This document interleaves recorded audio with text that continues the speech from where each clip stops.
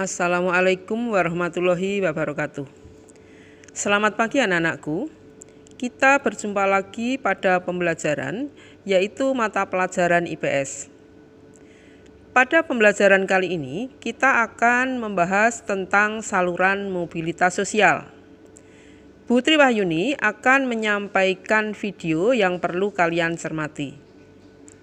Setelah kalian cermati video nanti, Silakan kalian simpulkan materi tersebut. Kesimpulan ditulis pada kertas folio bergaris, dikumpulkan bersama-sama dengan tugas mata pelajaran yang lain. Marilah anak-anak kita simak videonya. Terima kasih. Wassalamualaikum warahmatullahi wabarakatuh. Baik, setelah kita mempelajari pengertian mobilitas sosial dan jenis-jenis mobilitas sosial. Untuk pertemuan kali ini, kita akan membahas mengenai saluran-saluran mobilitas sosial.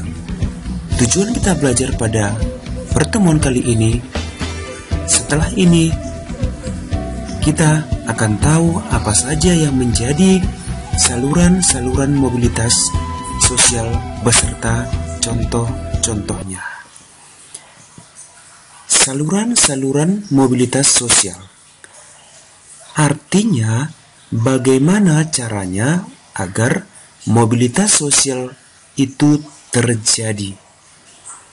Yang pertama, salurannya adalah pendidikan. Dengan pendidikan yang lebih tinggi, contohnya kita meraih sarjana, maka akan lebih mudah mengalami mobilitas sosial khususnya social climbing yaitu dengan modal pendidikan yang tinggi kita bisa menjadi dokter menjadi profesi yang lainnya juga. Yang berikutnya adalah organisasi politik. Kita ambil contoh Bapak Insinyur Soekarno, pendiri Partai Nasional Indonesia.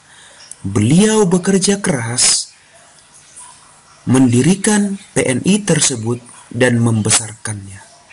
Melalui Partai Nasional Indonesia tersebut, beliau mengalami mobilitas sosial dari masyarakat biasa berubah atau mengubah statusnya menjadi pemimpin Republik Indonesia yaitu Presiden Republik Indonesia yang pertama. Saluran saluran mobilitas sosial yang berikutnya adalah melalui organisasi ekonomi. Salah satu organisasi ekonomi yang cukup terkenal di Indonesia adalah Koperasi Indonesia yang berajaskan kekeluargaan di mana tujuan utamanya adalah mensejahterakan anggotanya. Melalui organisasi ekonomi koperasi Indonesia tersebut, anggotanya mengalami perubahan atau mobilitas sosial, mengalami kesejahteraan melalui organisasi ekonomi tersebut, sehingga anggotanya sejahtera dari segi ekonomi. Saluran mobilitas yang berikutnya adalah melalui organisasi profesi. Salah satu organisasi profesi yang besar di Indonesia adalah Persatuan Guru Republik Indonesia yang merupakan wadah organisasi profesi guru melalui organisasi ini memperjuangkan hak-hak guru termasuk kesejahteraan guru yang berada di Republik Indonesia.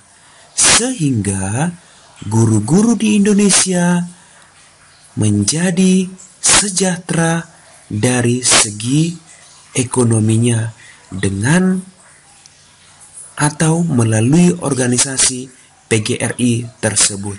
Begitu juga organisasi profesi yang lain contohnya Ikatan Dokter Indonesia dan yang lainnya. Demikian yang menjadi saluran-saluran mobilitas sosial untuk kali ini.